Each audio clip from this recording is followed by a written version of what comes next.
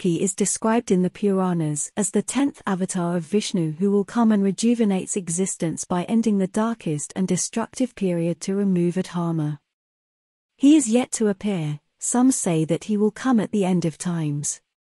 The Kalki avatar would be the tenth and final incarnation of Lord Vishnu that would appear at the end of the present Kali Yuga. Legends and various Hindu texts say that he will appear as the son of Vishnuyasha and an eminent Brahmin of a village named Shambhala. He will become the king, a turner of the wheel, and one who triumphs. He will eliminate all barbarians and robbers, end adharma, restart Dharma, and save the good people. After that, humanity will be transformed, and the Golden Age will begin, state the Hindu manuscripts. In the Kanchipuram temple, two relief Puranic panels depict Kalki, one relating to Luna, moon-based, dynasty as mother of Kalki and another to solar, sun-based, dynasty as father of Kalki. He will kill all the wicked men of the world, destroy all the bad things in the world, and gather all the men of belief and truth. However, many men claim to be the reincarnation of Kalki. One such theory during the rounds is of Mirza Ghulam Ahmed born on the 13th of February 1835, died on the 26th of May 1908. He was an Indian religious leader and the founder of the Ahmadiyya movement in Islam. He claimed to have been divinely appointed as the promised Messiah Mahdi and Kalki. A claim which was refuted and he could never prove.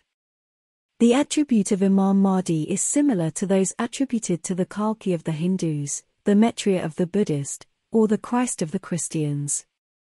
As per Buddhist text Kalachakra Tantra, the righteous king is called Kalki and is predicted to end the chaos and degeneration by assembling a large army to eradicate a barbarian army. This incarnation of Vishnu is to appear at the end of the Kali or Iron Age, seated on a white horse, with a drawn sword blazing like a comet, for the final destruction of the wicked, the renovation of creation, and the restoration of purity. Also, as per the Sikh text, the Kalki incarnation appears in the historic Sikh texts, most notably in 10th Granth, a text that is traditionally attributed to Guru Gobind Singh. The 24 incarnation mentions sage Matsyana describing the appearance of Vishnu incarnations to fight evil, greed, violence, and ignorance. It includes Kalki as the 24th incarnation to lead the war between the forces of righteousness and unrighteousness. While there is no mention of Kalki in the Vedic literature, Kalki appears for the first time in the Great War epic Mahabharata. The mention of Kalki in the Mahabharata occurs only once. The Kalki incarnation is found in the Mahapuranas such as Vishnu Purana, Matsya Purana, and Bhagavata Purana.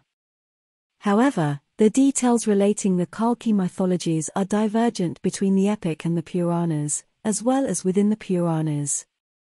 In the Mahabharata, according to Hiltebeitel, Kalki is an extension of the Parashurama incarnation legend, where a Brahmin warrior destroys Kshatriyas who were abusing their power to spread chaos, evil, and the persecution of the powerless.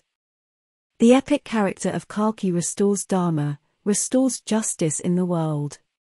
How and when Kalki will appear to restore the world we can just assume from the different texts that is available to us. Is he the same as Mahdi we don't know, although religious scholars may come up with some similarities between both the divine avatars but the objective to end the wickedness and oppression of the world is the same.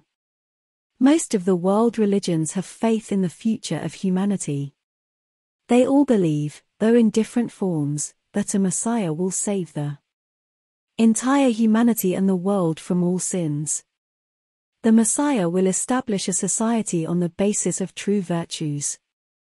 The Hindu religious scripture Mahabharata says whenever there are sins and injustice in the world the God sends his messenger to earth to fight all evils and establishes an order dictated by justice, equality and peace.